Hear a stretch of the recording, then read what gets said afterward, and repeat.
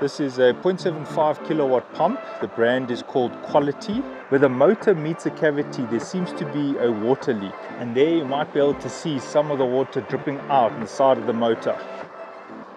Right, so this is the mechanical seal, which is on the inside, which I need to get to. There's also an O-ring, which goes over here, so I have a spare one. And then inside here, there's an impeller. So I have a spare impeller, and then there is an O-ring, which will need to be fitted. So I have all the spares in order to do this job. Make sure the power is off. All right, the first step is to unscrew all of these size 10 screws. I'm just using a battery operated wrench, and I'm removing these screws one by one. Right, so I can move the motor there, it will drain a little bit. Right, on this unit there are three screws here I need to remove. Right, there are the three screws. Now this can come off. Just note that this needs to be put back on in the exact same orientation. So there I can see where the line was. Now here's the impeller and I am seeing quite a bit of wear on this impeller. Right, in order to get the impeller out, I need to wedge something in order to stop the motor from turning. Now on this unit, there's actually a hole here and then there's a space for a flat screwdriver. So I'm putting a flat screwdriver there and that is going to stop the unit from turning. See, as I turn it, you might notice the screwdriver is also turning. So if I hold the screwdriver still, I'll be able to release the impeller.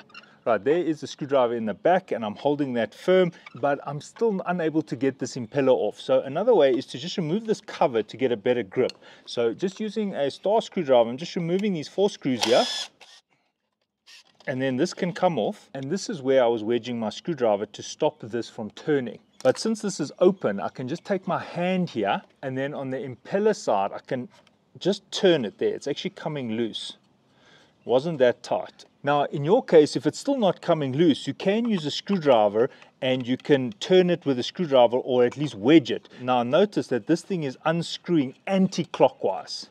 And there, looking inside, I can see that these blades are quite worn. And even here on the sides, it's actually open all the way. I can actually get my nail all the way in there and there. So I will need a new impeller, but I also need a new seal. So I'm going to change the seal so long just unscrewing it. All right, so inside there's the old ceramic ring with the seal. Now, if you wanted to, you could open these four screws and remove this, but in my case, it's not necessary. I'm just going to peel this old seal out, and there it comes. And there I can just remove the old seal plus the rubber. Now the old seal is in very bad condition and I can see that it needs to be replaced. I can see that the rubber is fatigued, almost looks like it's leaking. Looks like it has discolored here from corrosion, which means water was getting through there and that is why it was leaking. Before putting in the new seal, I'm just going to use some rubbing alcohol. Uh, there's no glycol in here. This is just 90% pure rubbing alcohol and I'm just cleaning around here and cleaning inside there. And then I'm just taking a blower and just blowing out any sediment. Now over here I have my new seal and I need to seat it. It might get stuck, so what you can do is just wet around here. So I'm just going to wet this a little bit. I just put a, a, just a drop of water around the side so that it seats nicely. There we go, all the way in. Right, I've just given this a wipe. There's a bit of deposits on the surface here, which could be calcium. This could be because of hard water, but also because of a leaking seal. Right, now the old seal looks like this. So I've removed this part and I can see that there is a shaft there, a threaded shaft. Right, so I need to get this shaft out. So uh, it's quite stiff. You can tap it. You can just tap it out if you want.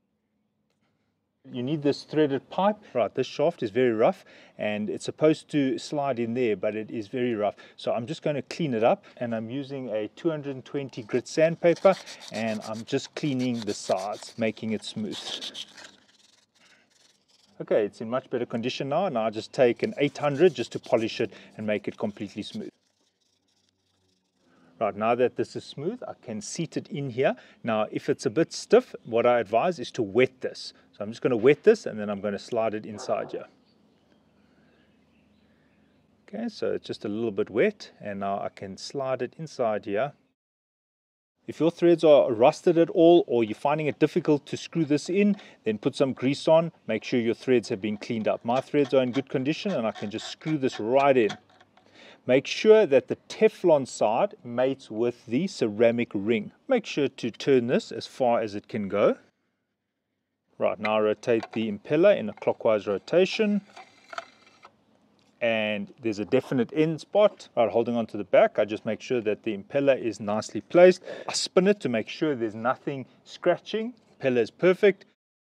Right, it's easier to put the cover on now while the motor is still in hand. Right, so now it's time to put the diffuser on. It can only go in one place.